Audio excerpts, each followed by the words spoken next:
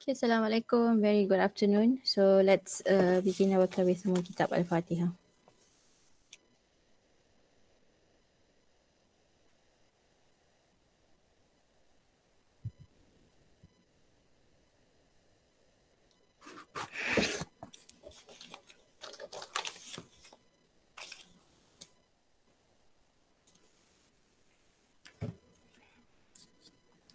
Okay, so how are you?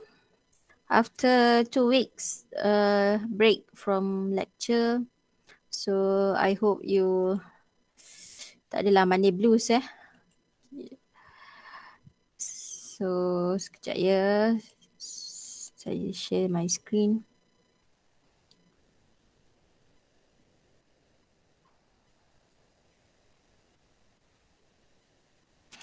Okay. So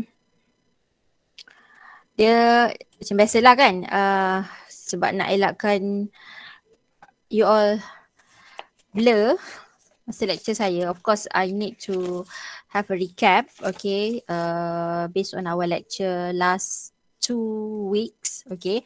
But before that okay I have some comments uh, regarding your test okay mid semester test.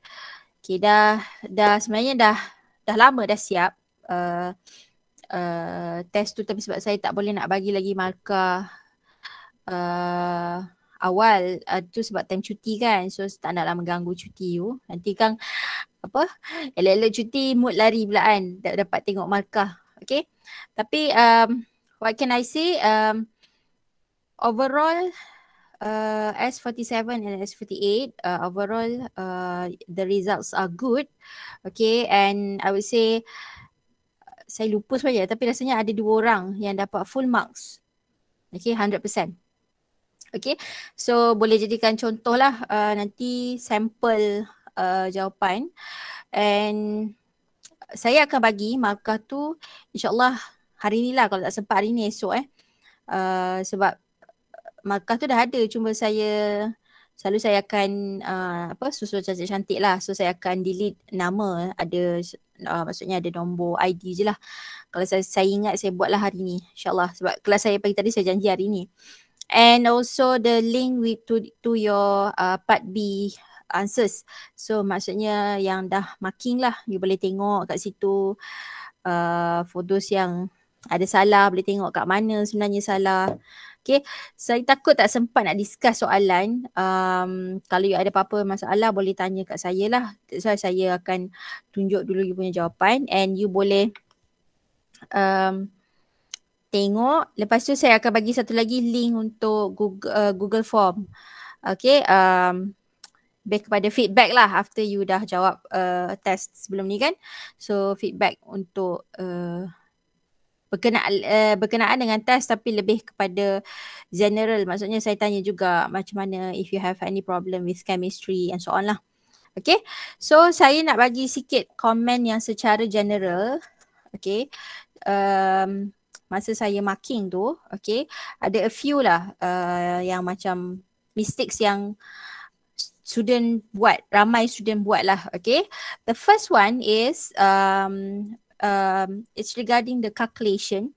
When you do the calculation, okay, um, I would say not most of you, tapi some of you yang dia suka round off, it's too early. Okay, maksudnya um, let's say you nak kena kira mol dekat atas tu kira mol. Tapi kat bawah tu let's say you nak kena buat um, kira mol juga tapi comparison kan. Tapi daripada awal tu you dah round off. So Okay, kat sini saya, saya rasa saya dah ulang banyak kali. Jangan run off awal sangat. Jangan run off awal sangat. Okay. Sebab apa? It will affect your answers, your final answers. Okay, macam contoh eh. Sebab benda ni jadi dalam test. Uh, saya tak ingat lah berapa value tu. Contoh lah eh. Um, let's say you have 0.0678 uh, lah for example. Sepatutnya 678 uh, maybe three something lah kan. Tapi kalau you stop, biasanya kita at least saya suka cakap student for decimal places. Jadi code apa kita punya balance kan, analytical balance. Student dia kadang-kadang, okay dia round off. Ni. Ada lagi dahsyat dia round off jadi lah.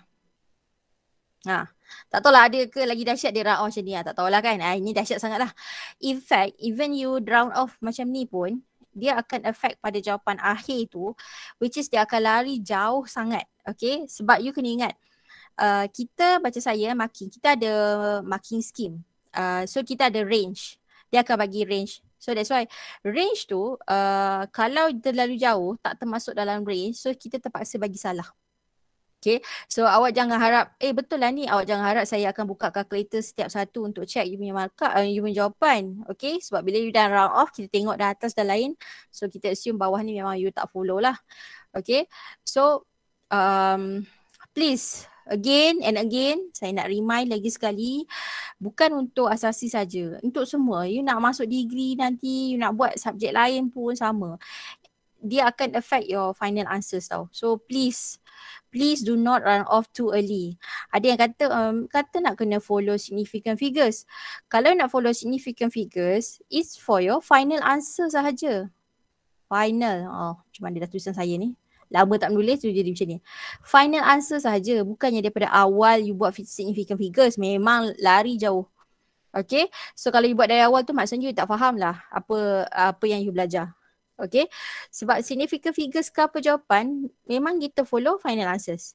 In fact, uh, saya rasa memang sepatutnya kena uh, buat dalam significant figures lah. Tapi kalau student tak tak buat, so far dalam test ni kita bagi juga markah.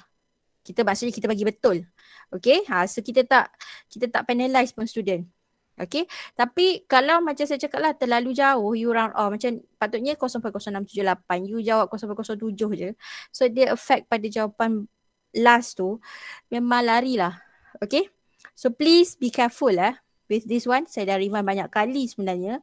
Ada juga yang buat. So kalau you check you punya jawapan kalau saya tulis besar-besar tu saya tengah marah tu. Sebab bila maki tu ui dia round off. Saya tulis besar-besar do not run off, do not run off. Okay. Itu pasal run off and then about the limiting return. Okay, walaupun benda ni dah lepas tapi saya akan cakap jugalah sebab benda ni you akan pakai balik. Saya rasa uh, uh, next semester pun masih pakai calculation of limiting return. Okay, macam contoh, let's say you have um, uh, kan uh, A plus B uh, produce C plus D lah kan. Okay, let's say um, kita nak uh, compare, betul tak? We, kita nak tahu siapa limiting return, we will compare A, uh, A uh, let's say ni 2B lah. So A produce C, satu lagi 2B produce C. So from this you calculate more betul tak? And then you akan cakap who is the limiting return. Okay. Uh, from the question, dia tak minta um, uh, apa um, apa cari ataupun dia kata apa um, determine the limiting return. Yang saya ingat soalan tanya pasal access.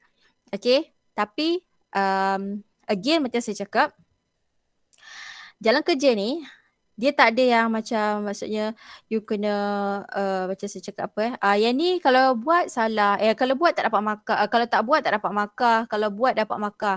Tak semestinya. It depends on that particular questions. Kalau kalau penyedia soalan kata saya nak nilai budak ni punya markah untuk ni.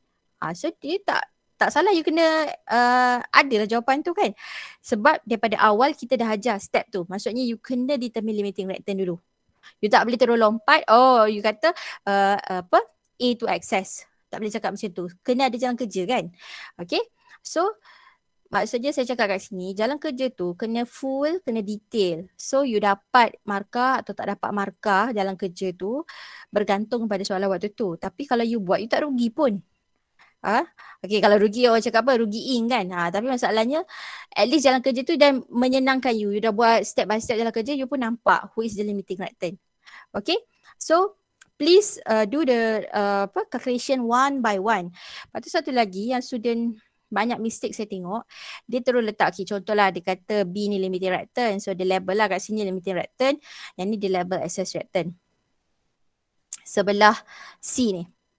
Yang ini, kalau you label macam ni, saya terus salahkan. Salahkan mistake you tak dapat markah untuk limiting return. Untuk uh, di apa untuk syarat limiting return tu. Uh, jalan kerja mall tu semua dapat lah. Tapi you kata siapa limiting return tu tak dapat. Sebab apa? Saya ingatkan banyak kali. Saya ingat. Uh, kalau you nak bukti pun saya boleh cari dekat dalam video saya ajar.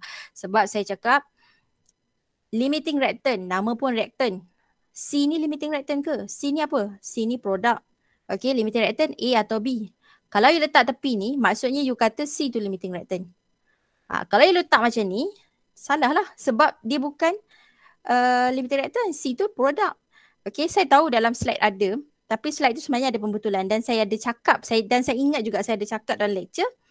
Um, uh, ni tak bagus ni sebenarnya. Sebenarnya you kena cakap B is the limiting reactant. Saya betulkan slide tu. Uh, so kalau yang buat tu, biasanya saya cakap dengan student. Student pagi tadi saya cakap, biasanya awak tak dengar lah tu. Uh, saya cakap, saya buka lecture, saya ajar popek-popek ni. You all mungkin duduk tapi you pergi jalan-jalan, pergi dapur ke pergi mana lah. Uh, mana saya tahu kan uh, masuk ODL ni. Lepas tu nanti bila nak buat revision, dia refer balik nota yang salah tu. Uh, so bukan salah saya eh. Tapi saya dah cakap banyak kali. Limiting reactant. So biasa kita kena buat apa? Kita buatlah conclusion. So uh, B is the limiting reactant. In case lah you nak letak juga kat tepi ni, you tulis kat sini B is the limiting reactant. Tak apa. Asalkan you kata B tu limiting reactant. Bukan C. Kalau C, walaupun betul ini, tapi kita tak boleh bagi markah. Okay. Ni, ni yang a few lah student saya nampak buat. Lepas tu, I want to comment about the handwriting. Okay, saya bukanlah nak kata handwriting tu kena cantik. Saya punya handwriting pun tak cantik. Cuma kena jelas. Contoh soalan nombor satu, uh, part B, uh, you kena tulis uh, molecular formula uh, untuk cobalt. Saya tengok cobalt apa tapi pentahydrate. Uh, so cobalt eh, cobalt is C huruf besar, O huruf kecil. Ada student buat C huruf besar, O tu saya tengok lebih kurang sama size. So this is particular exactly not similar. CO huruf besar adalah carbon monoxide. CO huruf kecil, O huruf kecil barulah kita kata dia cobalt. Ada eh, saya tak ingat ada dua tiga orang. Sebab saya macam nak bagi ke tak bagi. Saya tengok tapi saya tengok tulisan dia. Saya tengok tulisan yang lain. So nampak macam memang O tu huruf besar obviously so saya tak boleh bagi. So please eh uh, again handwriting yang melibatkan membawa makna tu uh, so saya tak boleh so terpaksa salahkan okay and then careless in calculation i think this one dia common untuk untuk student lah dalam banyak saya tanda mesti ada je yang buat careless mistake lah tapi i hope you tak berulang lah uh, dia kadang careless dia sampai soalan kata 95.3 gram per mol contoh dia pergi tulis 93.5 Nampak dekat kan? Tapi sebenarnya lain. Kat situ lah. Okay, itu, itu careless lah eh. And then, do not compare between reactant and product. Oh, ni pasal limiting reactant tadi. Okay. Uh, ni pun sebab kita kita ajar, saya tak tahu lah method apa awak pakai. Saya ajar A compare C, B compare C for example. Ataupun A compare D, B compare D. Dia tak juga ikut cakap kita. Dia buat uh, A compare dengan B. Okay. Saya ada cakap, ini mungkin dia dengar pula apa saya cakap sebab saya cakap mulut je. Saya cakap boleh. Tapi yang penting method tu betul. Macam sini A, contoh ni 2B lah. You kena compare betul-betul jadikan dia satu mol. Mol paling kecil itulah limiting reactant. Boleh tak salah? Tapi uh, ada juga student yang buat tapi dia tak compare pula sesama ni. Macam mana tah dia buat saya tak tahulah. Tapi tak tahu dia dapat je limiting reactant. So ada uh, kurang, ada certain part yang kurang lah markah. Uh, so sebab uh, jalan kerja tu tak complete lah saya cakap. Okay. So please kalau boleh bila limited return you compare with um, product lah eh. Lebih nampak. And then do not state limited return. Ah tu yang tadilah you tak state limited return tu apa. Limited return kalau state walaupun dia tak minta dalam soalan exactly state the limited return. Tapi dia masuk dalam kerja kat situ markah dia satu eh saya tak ingat lah uh, total markah tapi markah state limited return satu. So kalau tak ada kosong lah untuk part tu. Okay lepas tu physical state. Uh, balance equation eh. Ada satu soalan nombor satu juga kot. Balance equation um, dalam bentuk ayat dia minta you balance with the physical state. Okay ramai salah kat sini lah. Uh, satu biasalah tak tulis physical state. Satu lagi water. Ramai salah kat sini. Water dia buat liquid memang water tu common dia liquid tapi dalam soalan dia kata water vapor. Water vapor adalah gas. Okay. Steam ya dalam bentuk steam. Gas lah. Okay so for tu secara general lah. Uh, and then kita ada question tiga. Pada saya question tiga lah yang paling macam uh, variety sangat jawapan. Tapi ialah kita cuba bagi markah mana yang boleh asalkan related kita bagilah markah. Okay. Uh, nombor tiga tu soalan yang mana? Kalau you tak ingat soalan yang minta you buat um, buktikan tu relationship macam dia dah ada equation uh, ratio dia punya coefficient tu you kena buktikan. So basically buktikan tu sebenarnya lebih kurang method dia macam you buat untuk uh, apa ni kita namakan yang you buat untuk empirical tu sebenarnya.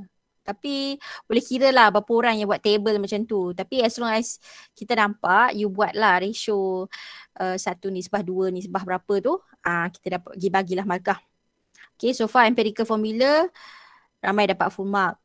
Empirical dengan molecular formula tu kan ramai dapat full mark. Soalan nombor lima, ramai sangkut dekat uh, access. Uh, access return left remain ya remain. Uh, ramai sangkut kat situ. Nampaklah tak faham sebenarnya. Okay, so sebab saya tak takut tak sempat nak discuss. So saya cerita je dulu in general. Nanti you boleh tengok you punya jawapan. Okay. Lepas tu satu lagi, ini yang common dari segi teknikal lah. Uh, macam contoh lah, when you want, uh, you want to name the file, okay, please uh, have a space, spacing eh, contoh eh, PI 080 uh, underscore S47 uh, contoh eh. Uh, contoh Nurul Aini. Uh, Aini ni bagi ada jarak. Uh, memudahkan saya lah untuk saya sort. Okay, satu lagi ini nama file kan .pdf kan. Okay, kertas kertas yang you uh, tulis tu please lah at least first page tulis nama. Pakai kan you tulis pakai tangan kan, tulis nama. Sebab uh, uh, kadang-kadang bila uh, bila kita saya sort, sometimes saya kena susun, saya kena type balik tau. Uh, according to the Uh, dia punya template tu kan. Maksudnya kena letak apa dulu. Biasalah ada student dia follow ada student tak follow ikut suka hati dia je kan naming the file. Lepas tu bila kita rename kadang kita lupa eh ni file siapa eh? Lepas tu tengok pula dalam dalam um, uh, maksudnya dalam kertas tu naming tu kat atas ni tak ada langsung nama. I think most of you lah. Mungkin silap saya juga sebab saya tak remind uh, this part. But next time final lah please uh, name letak nama juga Nurul Aini uh, kelas apa? S47 for example lah uh, letak. First page pun tak apalah janji saya nampak. Okay? And then saya tak ingat ni kelas mana saya ada komen too lazy to write. Too lazy. Malas malas menulis. Uh, contoh contoh eh. Dia buat sini uh, contoh. Contoh lepas tu dia, dia bagilah jawapan Lepas tu dia tulis lagi uh, 9 darab 10 90 Lepas tu, okay, lepas tu dia garis dah. Contoh eh. Saya tengok pun macam, apa benda ni? Dan kalau jawapan tu betul tak apa. Maksudnya jawapan tu salah. Bukan salah juga. Macam dia lah. Saya rasa isu dia, student tu orang, oh saya macam, saya blur sangat. Macam mana dia dapat value ni? Dia tak tulis apa-apa. At least lah eh. Mall equals, contoh lah kalau dia nak kira mall. Atau dia tak tulis mall ni pun, dia tulis kat belakang ni mall. Lepas tu sebenarnya mol apa kan? Ke dalam tu let's say ada a few compound yang you kena calculate mol. Tulislah mol apa kan? Ini macam memang tulis nombor eh. Lepas tu macam Oh saya masa tu memang rasa Masa, saya memang saya cukup bersabar lah time tu kan. Saya tak tahu lah saya tak ingat saya conteng besar-besar ke as to what is this, what is this saya akan buat macam ni besar-besar. Saya tak ingat lah tapi um, please lah eh. Saya selalu cakap student saya tak tahulah saya cakap ke tak benda ni sebelum ni kan sebab saya tak adalah maki beri sangat sebelum ni kan. Saya cakap student awak malas tulis, saya malas marking. Ha, malas marking tak ada makah. Ha, senang cerita. Okay. So hopefully um, saya cakap ni general lah. Tak tahulah siapa uh, kelas engineering ke kelas apa. Saya cakap general lah. So hopefully um, masa menulis tu at least you you you ibaratkan uh, pemeriksa nak tengok tu dia tak tahu apa-apa. So you guide pemeriksa. Uh, ni step saya. So saya start from mall. After mall lepas tu you kira apa, you kira apa. So kita nampak. So kalau salah pun hati kita hati you tahu pemeriksa ni manusia juga eh bukan robot. So kita ada ada masa kita tengah stress marking. Maybe time test ni tak tak banyak sangat. Uh, final nanti soalan banyak dengan student ramai nak makin dan awak kena ingat lah kita bukan makin awak seorang. Bukan kelas awak je. Okay saya ada banyak kelas lain. Okay and dan macam rezeki awak dapat saya untuk test ni memang saya yang makin. Untuk final saya tak tahu eh sebab kadang-kadang kita ubah-ubah. Kadang saya makin kelas lain, ada orang makin kelas saya so macam tu. Okay so tak kisahlah siapa yang makin pun supposedly kita akan makin sama je okay sebab kita memang akan ada meeting dulu untuk pelarasan markah semua so that's why uh, tulis je yang proper lah okay write properly so no matter okay uh, tak kisah siapa pun yang makin yang penting kalau betul awak buat memang itu markah awak awak akan dapat lah Okay. So cuma kalau macam ni lah cara awak tulis. tak tulis more, tak tulis apa. Tiba-tiba tu jawapan dia uh, awak boleh faham lah kita pun rasa macam ih macam ni tulis nak suruh kita bagi makan ha, macam tu eh faham eh okay so um, so far itu saja komen saya lah secara general lah. Uh, the rest tu maybe you boleh tengok balik you punya masing-masing punya jawapan uh, later lah eh. Okay. So now um, sebelum saya masuk pada balance bond theory Okay. Saya lupa nak tahu. Uh, you all dah boleh buka U-Future ke? Dah boleh login dah U-Future? Boleh. Boleh eh? Okay. Sebab pagi tadi ada problem kan? Biasalah hari first. Uh, bila sudah degree hari first tu uh, dia jadi ah macam tu. Dia uh, apa? Semua jadi hang. Okay. okay. Sebelum saya masuk pada ni uh, valence bond theory saya nak recap lah lama tinggal kan. Uh, okay saya tulis lah. Okay you belajar sebelum ni? Vesper theory. So what is Vesper valence shell electron pair repulsion.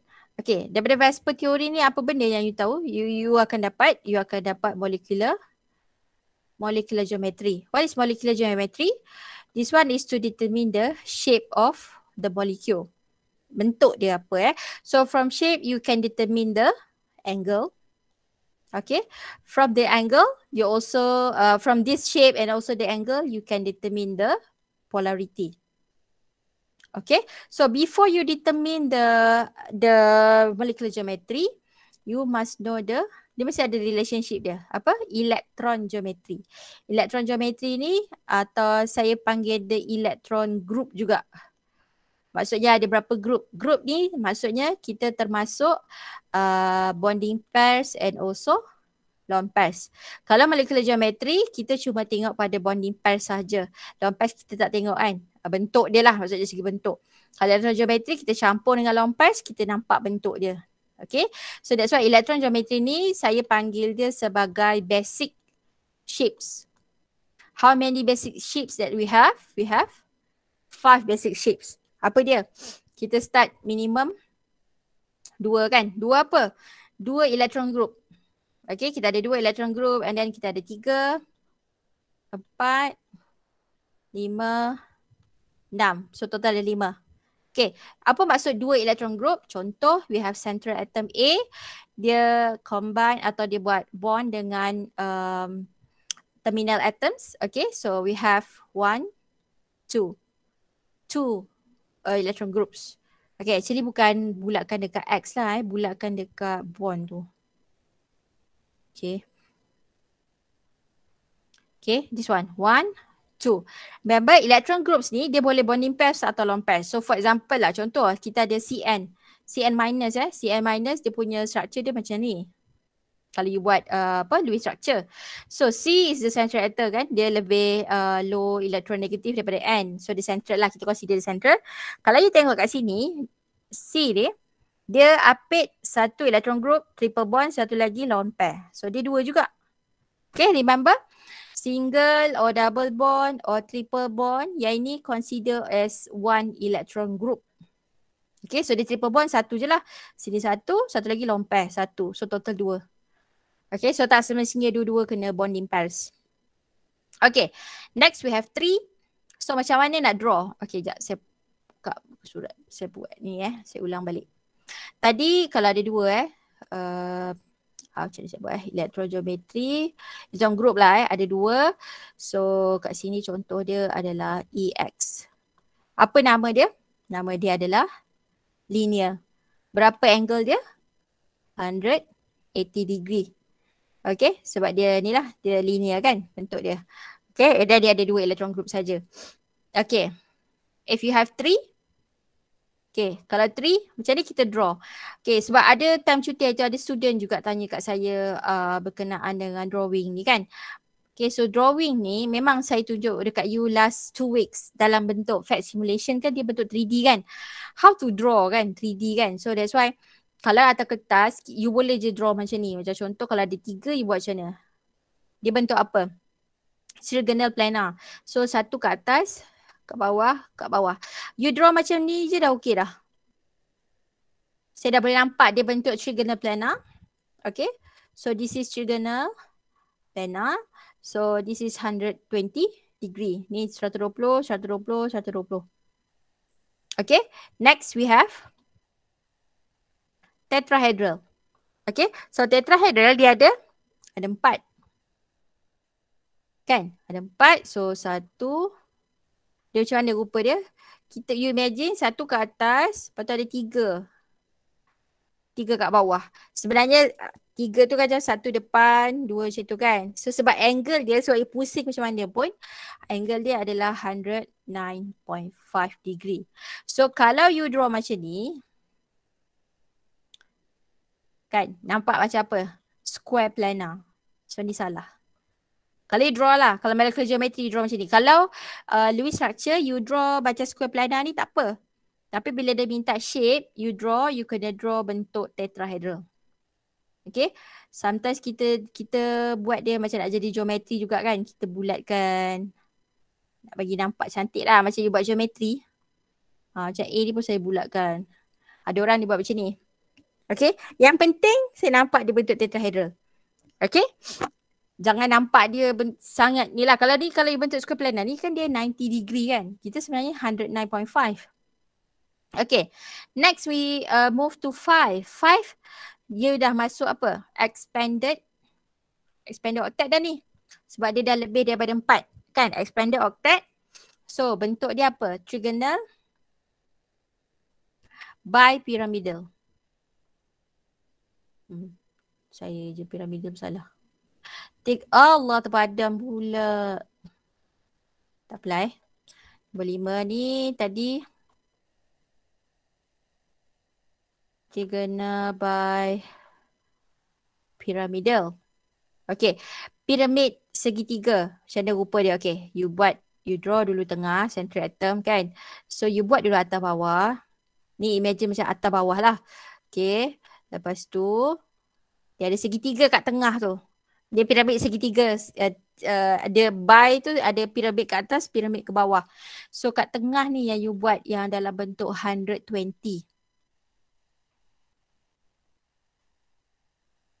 Okay. So jadilah trigonal bipyramidal.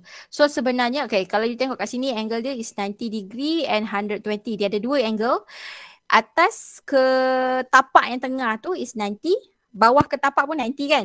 Okay, lepas tu yang ini, yang sesama ni, sesama dia ni 120. Yang sesama tapak tengah tu 120. Okay, sebab why, that's why dia ada dua angle. Okay, lastly is octa, octahedral. Ada enam. Enam, ada, dia ada enam bond tapi dia ada lapan permukaan lah. Okay, so dia macam you draw untuk uh, trigonal bipyramidal. Bezanya tapak dia ada empat. Okay, sini ada X. Okay, kat bawah ada X. So, ini ada satu, dua, tiga, empat. Okay, nampak? Tapak dia sekarang bentuk square. Uh, tapi tak tahulah nama dia dah bukan square by pyramidal. Nama dia octahedral. Kenapa tu jangan tanya saya lah. Dia boleh lah kan sebenarnya. Tapi dia, kita guna nama octahedral. Dia macam you buat tetrahedral tu. Tetrahedral permukaan dia ada empat. Kalau octahedral, dia ada empat belah atas, ada empat belah bawah. So total dia ada lapan lah. Macam bentuk octagon lah. Okay. So angle is 90 degree. Sebab you imagine daripada atas atas ke tapak ni 90. Yang bawah ke ni pun tapak ni sebenarnya ada punya angle ni adalah 90 degree. You pusing macam mana pun dia 90 degree juga. Okay. So, uh, let's say kalau dia ada lone pair. Contohlah, macam trigonal bipyramidal, if you have one lone pair, jadi ada lima bond. What if kalau you ada four bonding pairs, one lone pair? Tetap, totally tetap lima kan? So dia asal dia tetap trigonal bipyramidal. Maknanya ini you punya reference you adalah bentuk macam ni. You nak buang kat mana? Sebab you kena tengok dulu. Kena ingat. Ah, bentuk kena ingat eh. Bentuk dia apa? Bentuk seesaw. Bentuk joget-jongkit tu. You buang mana? You buang yang ni yang belah kanan ni. Okay. So dia akan jadi bentuk macam ni lah. Ni, yang ni kat sini. Seesaw. Okay. Kalau tak nampak juga macam mana rupa seesaw ni. You kan benda ni kan boleh rotate kan. So you akan dapat sebenarnya macam ni. A. Tadi kalau saya rotate lah eh. Ha, ni yang duduk belah sini satu. Duduk sini satu. Ha, ni kaki dia. Ni adalah seesaw. Okay. So bila you buat yang ada lompat tak lukis lompat tu tak apa kita terima. Tapi kalau you nak lukis macam mana? You akan buat kat atas ni biasa kita buat bulat kita buat ada dua dot tu. Dua dot tu adalah elektron lah okay? So kita bulatkan dia. Okay kalau uh, you buat dalam Lewis structure kan you tak buat bulat ni. Okay tak apa. Tapi kalau biasanya bila kita draw molecular geometry kita draw nam- buatlah bulat ni nak bagi nampak. Okay So sama juga untuk yang lain lah octahedral yang ada lone pair semua eh. sebab lone pair ada banyak kan. In fact kalau um, kalau uh, contoh macam ni tiga bonding pairs dua lone pair bentuk apa? Bentuk T-shape kan? Macam mana rupa? You buang yang ni. Dua ni. So dia akan jadi A uh, T-shape eh. AX. Ha, ni memang bentuk T lah. Ha. So sebenarnya dia ada dua lompat macam tu. Okay, kalau linear, uh, kalau dua bonding pair tiga lom tiga, dua bonding pairs tiga lom uh, sorry, dua bonding pairs tiga lompat akan jadi linear. Okay. Octahedral ni, ah tadi kan octahedral ingat tak saya ada cakap pasal tetrahedral jadi saya padam dulu. Kak octahedral tadi bentuk dia satu atas satu bawah, ni tapak dia kan. Okay, ah, saya lukis ni tak adalah cantik you all looking lagi cantik kot. Okay, ni octahedral kan. Angle dia kan 90. Okay, kalau um, buang satu, biasanya kita akan buang salah satu atas atau bawah lah. So, kalau buang satu sebenarnya, okay, octahedral ada uh, 6 bonding pairs. Okay, kalau you buang satu, ada 5 bonding pairs, one lone pair kan. So, let's say you buang satu, so you akan dapat satu atas, ni tapak dia. Dia dapat macam ni kan. So ini adalah long pass kan. So apa nama dia? Nama dia adalah square. Square pyramidal. Okay, angle dia akan jadi less than 90. Okay, angle untuk kalau ada long pass tu biasanya kita buat less than je. Okay, tak payah nak kena hafal han, uh, dah berkurang jadi berkurang berapa. So kenapa dia less than 90? Kan you belajar. Okay, long pass. Uh, long pass repulsion is higher than long pass bonding long pass bonding pass. Yang ni higher daripada bonding pairs, bonding pairs. Sebab dia occupy more space. Dia tolak semua bond tu. Sebab tu angle, angle macam yang ni, yang ni semua dah jadi, um, kita panggil apa, dah deviate lah daripada angle yang asal. Daripada angle asal 90, dia kurang. Okay. Kalau uh, tadi saya dah mention, let's say lah you ada four bonding pairs, two long pairs. Okay. Bila you tengok, simply tengok four bonding pairs saja, you nampak dia macam tetrahedral. Tapi dia ada dua long pairs. So sebenarnya bentuk dia adalah macam ni. Dia bentuk apa? Square planar. Ah ni yang tadi saya cakap, kalau uh, tetrahedral you draw bentuk macam ni salah lah sebab ini adalah square planar which is sebenarnya dia ada dua lone pair. Okay, ini nama dia square planar. Okay. So angle berapa? Yang ni angle dia 90 sebab yang ni dengan yang ni dah, ber, dah bergaduh. Yang ni tolak ke belakang, yang ni tolak ke depan. Sorry, tolak, ni atas bawah lah. Yang ni tolak ke atas, yang ni tolak ke bawah. End up yang ni tak bergerak. Dia macam main tarik tali kan. Satu tarik, yang ni satu tarik sini. Kalau magnitude sama, dia punya energy dia sama. Tak ke mana lah akhirnya kan. Ah, so ni pun sama. Dia tak ke mana, end up dia still 90 degree. Okay, so the rest apply benda yang sama. Ni just nak recap saja. Okay, satu lagi saya teringat kita belajar pasal polarity kan. So I hope you ingat lagi pasal polarity whereby uh, the polarity um, dah ni saya tengok slide lah contoh eh. Water. Okay, very common water molecule. Okay, water kalau you draw Lewis structure you akan draw macam ni. Lewis structure you draw macam ni tak ada masalah. Kita bagi markah lah. Sebab Lewis structure sekadar nak tengok distribution of electron. Okay, so kita tahu maksudnya ada dua bond attached pada hydrogen and then kita ada dua lone pairs. Okay, so sebenarnya dia ada two bonding pairs with two lone pairs where, where we, bila kita cakap the electron groups dia adalah ada berapa? Ada empat. Kalau empat ni maksudnya bentuk asal dia adalah tetrahedral. So dia bukan linear tetrahedral. Tapi bila dia ada ni, bila bentuk ni ada lone pair, so maknanya bentuk asal dia bukan bentuk sekarang bukan tetrahedral lah. Now dia punya bentuk adalah band. Kan? Ataupun V shape. Okay. So ingat lagi kalau tetrahedral bentuk dia kan A, satu kat atas, tiga kat bawah kan. Okay. So you imagine sebenarnya band tu, contohlah saya buang yang ini dan yang ini. Ha, inilah bentuk band tu. Okay. So you imagine bentuk ni band OHH. Dia punya lone pair dia adalah dekat sini dan dekat sini. Lone pair. Well kalau macam saya cakap molecular geometry you lukis lone pair uh, boleh tak lukis pun tak salah. Tapi bentuk kena betul. Okay. Lepas tu based on polarity okay you have to determine lah. Um, yang ni saya mention pasal before you determine polarity of molecule. Nak tengok polar ke tak, you kena determine apa? Dia punya bond tu tak? Bond tu sendiri polar ke tak? So you kena tengok lah antara oksigen dengan hidrogen siapa lebih polar. Okay, lebih polar maksudnya lebih elektronegatif. Kalau lah dia, kalau dia bagi value tak ada masalah. 2.1 you compare dengan 3.5. Of course lah 3.5 lagi tinggi. So dia akan pergi ke arah oksigen lah. Okay, contoh kalau dia tak bagi. Kalau dia tak bagi value of EN, tak ada masalah. You kena ingat trend yang you belajar masa chapter 2. EN, okay, across the period, EN increase. Down the group, EN decrease. Trend ni you kena ingat. Trend dia sama je macam trend untuk EA, IE kan. Okay, cuma um, uh, kita tak melibatkan group 18 lah. Dia sampai group 17. Okay, paling tinggi adalah fluorine lah. Fluorine paling tinggi value of EN dia 4.0. Okay, sebab saya pun tak hafal value. Okay, saya pun tak hafal. Tapi saya paling ingat adalah um, uh, fluorine lah sebab dia paling tinggi. Eh. Paling tinggi maksudnya empat. Dia tak boleh lebih daripada empat. Empat tu paling tinggi. Okay, kalau dia minta kira, of course lah dia kena bagi. Kan, minta kira berapa delta EN.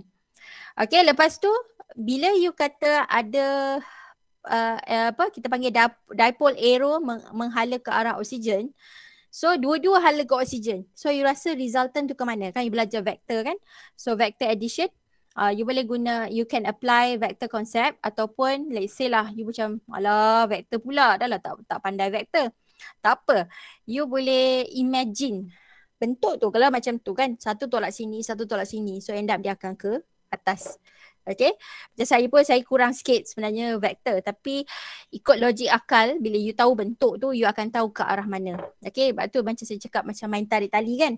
Contoh uh, tarik tali. Um, ni, ah, contoh macam ni. Tarik tali uh, let's say uh, satu belah kiri satu belah kanan. Ada dua. Apa beza dia? Yang yang ini uh, oksigen dengan oksigen. So kita assume kat sini magnitude dia sama. Bila magnitude sama, of course kita tahu oksigen tu lebih elektronegatif dari karbon. Ah, uh, betul arrow dia ke arah oksigen kan? Ah, uh, dua-dua. Tapi ke mana resultant tu? Siapa yang menang sekarang ni? Macam main tali in this case sebab sama. Macam ni kita assume oksigen-oksigen sebab dia magnitude dia sama, kita assume lah dia punya energy sama lah kalau main tarik tali kan. So in this case, kita nampakkan dia sebagai EN. EN dia sama.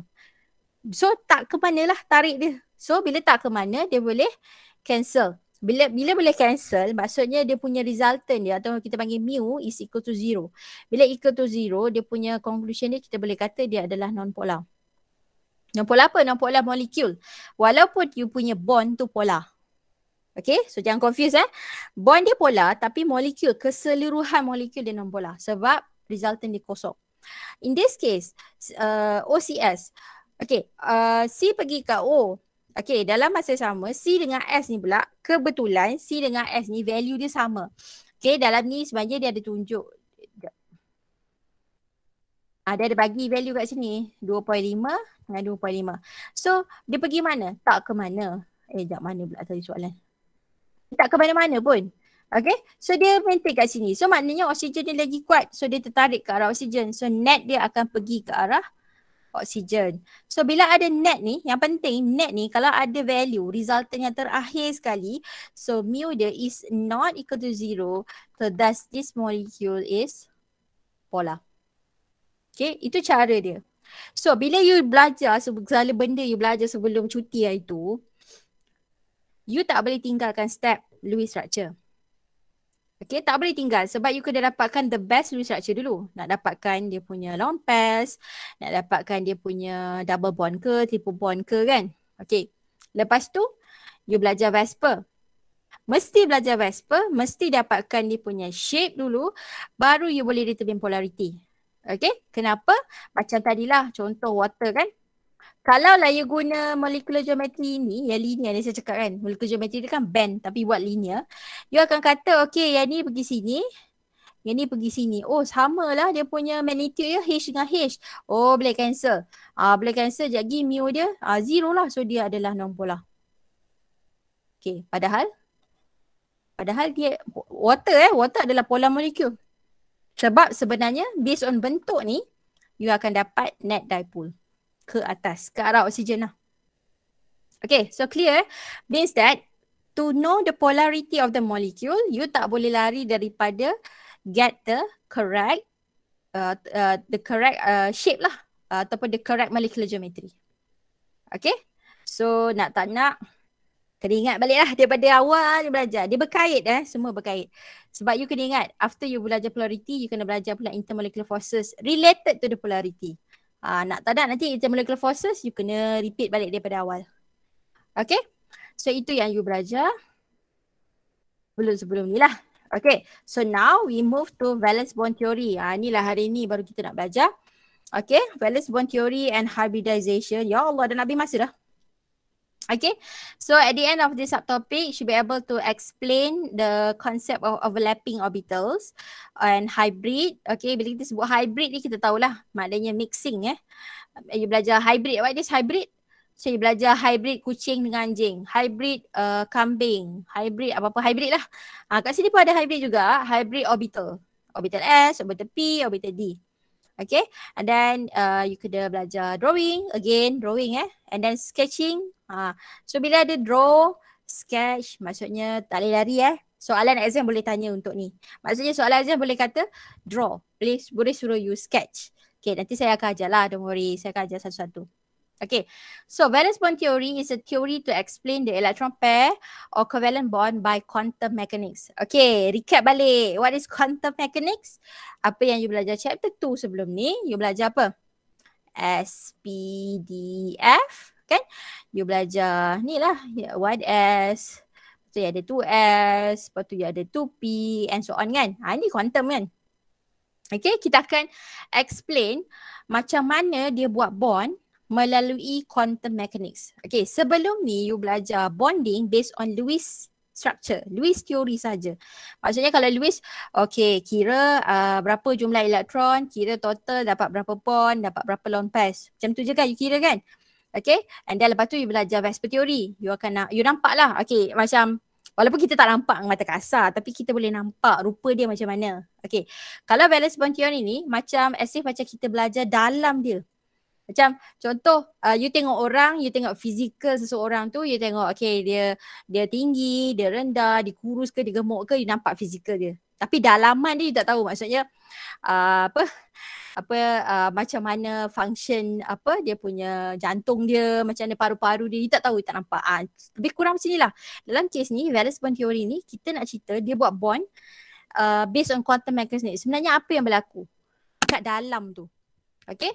So dia actually adalah overlapping dia overlap lah sesama orbitals Okay, and then dia kata kat sini, a bond forms when orbital of one atom overlap with another orbital of other atom dan ada over, overlapping lah.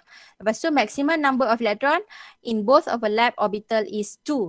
Ini sama case kan saya cakap uh, sebelum ni setiap orbital maksimum dua. Walaupun dia p orbital satu kotak ni maksimum dua dua saja kan. Ha, so maksud dia eh.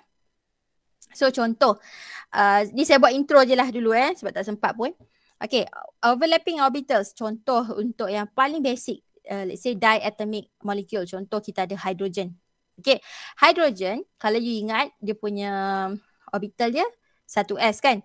So bila kita buat bond H dengan H maksudnya satu S dengan satu S lah. So we have another one S. One S1 lah kan. So dia combine, bila dia combine dia dapatlah satu orbital overlapping. Okay so dia akan jadi macam ni. Okay so ini yang kita panggil SS overlap.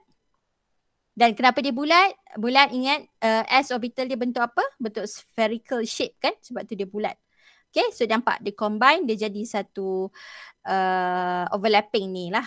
Okay, so ini uh, hydrogen. What if contoh hydrogen fluoride? Okay, hydrogen fluoride, contoh kat sini. Hydrogen tadi, dia adalah 1S1. Okay, fluorine. Uh, you kena ingat eh, uh, apa yang saya tunjuk ni adalah valence elektron sahaja. Sebab overlapping kan berlaku dekat valence elektron kan. Okay, so fluorine ada berapa? Ada tujuh lah. Kan? valence elektron dia eh. Saya tak cerita overall. Saya cerita valence. Okay, valence elektron dia ada tujuh. Sebab tu dia group 17 kan. Satu, dua, tiga, empat, lima, enam, tujuh. Remember, dia akan overlap mana yang uh, kurang. Boleh ke dia overlap dekat 2S? Tak boleh sebab 2S dah penuh. Sebab ingat maximum number of electron dalam orbital ada dua. So yang dia boleh overlap dekat sini dan juga dekat sini. Hydrogen. Sebab tu nampak yang bulat ni apa? Yang bulat ni adalah hidrogen sebenarnya. Sebab dia bentuk S orbital. Okay, yang satu lagi yang purple ni. Remember, kat mana yang kurang elektron tu? Dekat orbital P. Walaupun dia punya valence elektron dia dekat 2S dengan 2P. Tapi yang dia nak overlap tu dekat P. Sebab tu nampak dia overlap ni bentuk P orbital. Ingat lagi? Kan saya ada cakap uh, masa chapter uh, awal-awal tu kan. Saya cakap uh, bentuk P uh, apa kita ada bentuk px py pz okay so p bentuk macam bentuk infinity ni lah. Okay? So that's why kat sini bentuk p lah dia overlap dekat ujung. Okay hydrogen yang ini adalah fluorine punya orbital sebenarnya. So nampak eh? Ni kat sini lah overlapping dia. So ini adalah sp overlap. Okay? So boleh tak kalau pp boleh juga. Ob- maksudnya overlap orbital P dengan orbital P. Contoh fluorine. Fluorine gas F dengan F. You akan dapat P dengan P lah. So dia akan overlap nanti macam ni. Yang ni, tu yang ni dia overlap kat sini. So ini dia punya elektron. So dia overlap between P and P. Okay. So overlapping orbitals ni kita ada dua jenis bond. Okay. Dia beza dengan bond. Okay saya tahu you belajar sebelum ni. Okay bond ada satu uh, single bond, double bond and triple bond kan. Okay. Untuk tiga bond ni dalam uh, overlapping orbitals kita bahagikan kepada dua sama ada dia sigma ataupun pi. Okay, so what is sigma bond? Sigma ni bila dia overlap secara end to end. Okay, apa maksud end to end? Hujung ke hujung. Maksudnya awak tengok tangan saya ni eh, dia overlap uh, depan-depan lah. Uh, ada satu elektron sini, satu sini, pam, dekat. Uh, itu sigma. Jadi tak kisahlah S kepada S ke P kepada P ke apa kan. Okay, satu lagi apa pi? Pi overlap secara sideway, side to side. So side to side macam contoh dia tegak. So bila tegak dia overlap tepi dia je. CP. Okay. So dia sebab tu dia tegak macam ni. Dia overlap. Uh, dia student tanya. So kenapa pula tiba ada panjang macam ni kan? Uh, nanti drawing dia saya akan explain kemudian. Tapi sebenarnya basically eh, ni lah. Ni tadi bentuk asal dia. Ni satu lagi bentuk asal. Okay side to side. So dia overlap lah. Dia overlap yang ni dengan ni. Yang ni dia overlap yang ni. So the overlap dia akan tetap dapat dua elektron lah. Kan tadi sama maksimum dua elektron dalam satu overlapping orbital. Okay.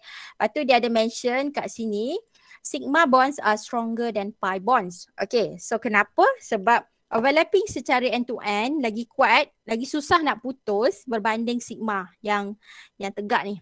Saya selalu bagi analogi macam ni lah nak senang ingat uh, macam uh, contoh car crash. Uh, accident crater uh, you accident depan-depan you boom langkah depan-depan tu uh, end to end lah kan. Uh, kuat kan dia punya impact dia as you compare dengan side by side. Side by side tu paling mungkin kita kata hmm, cala je lah kan cala kat tepi tu. Uh, okay so dia tak kuat sangat lah. Uh, nak bagi senang ingat lah okay? So sigma lagi kuat daripada pi. So, nak relatekan balik dengan single, double and triple bond tadi, senang je. You ingat macam ni. Kan you belajar ada single, double and triple bond kan? So setiap bond, tak kisahlah single, double atau triple bond mesti ada satu sigma. Wajib ada satu sigma. Okay, so single bond sebabkan you memang ada satu je. So, you memang ada satu sigma je lah. You tak ada pi. Sebab dia ada satu je. Kalau double bond, kita ada dua kan? Ada dua bond. So, satu sigma tu dah wajib. So, baki dia adalah pi. So, maksudnya dia sigma. So, yang ni ada satu pi. Okay, kalau triple bond, so kita ada tiga kan. Okay, tadi kan saya cakap wajib satu sigma.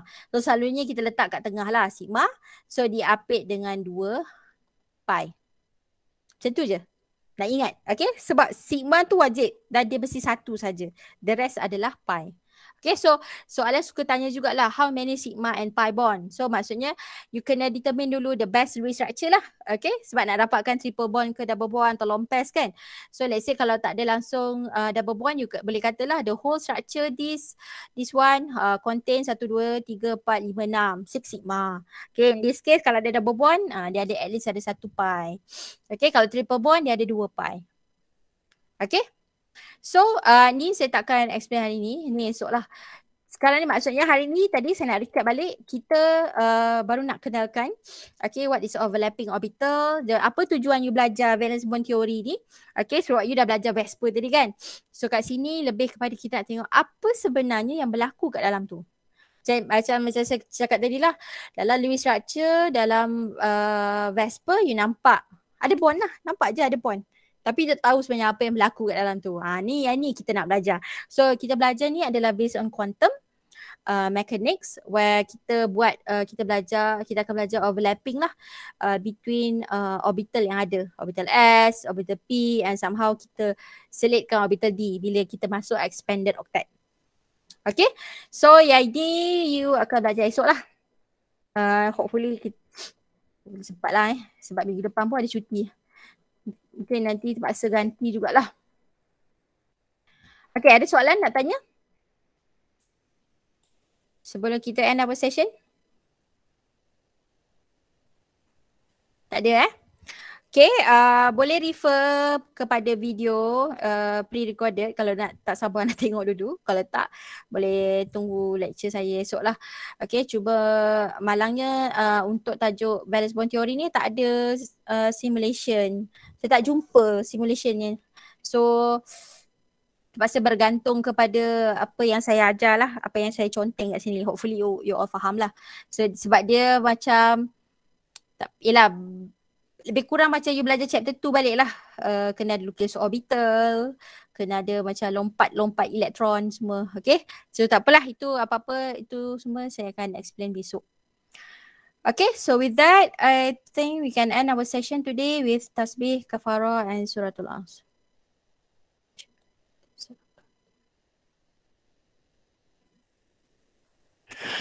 Okay, thank you everyone.